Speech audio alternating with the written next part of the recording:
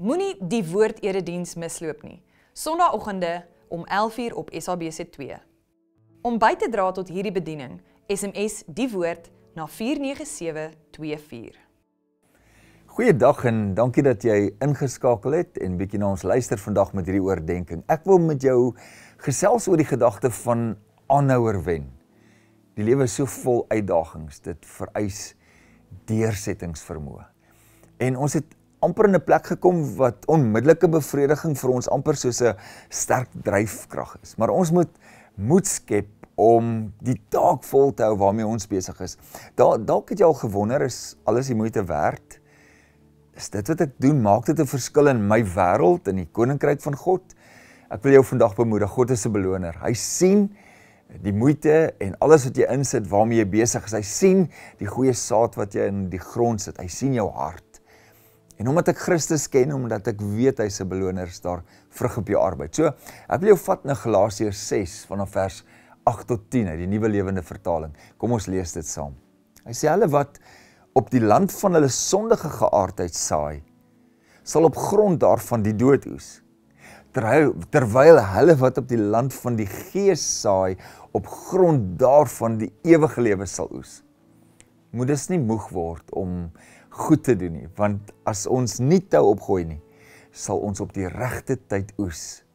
Terwyl ons die kans het, moet ons dus goed doen aan alle mense, maar veral aan die gelowiges.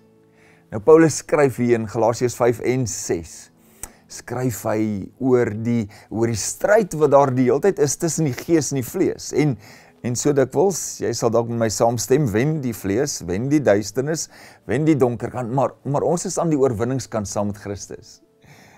En Paulus nooi ons uit. Hy sê, ek wil hê jy moet dit regkry om deur die gees te wandel. Want as jy op die akker van hierdie grond goeie goeders gaan doen en jy wen die stryd tussen die gees en die vlees, jy wen die kant van die lig en jy wen elke uitdaging, dan is daar vrug. As mense van die lig moet ons mekaar aanmoedig. Ons moet met sagmoedigheid mekaar reghelp.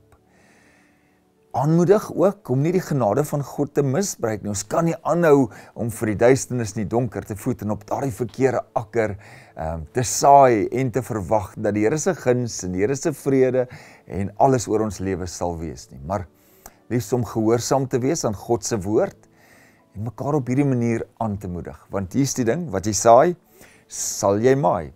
Dis nie net 'n natuurwet nie, dis 'n geesteswet. So moenie mislei word nie. God laat hom nie bespot nie. Wat jy saai, sal jy maai.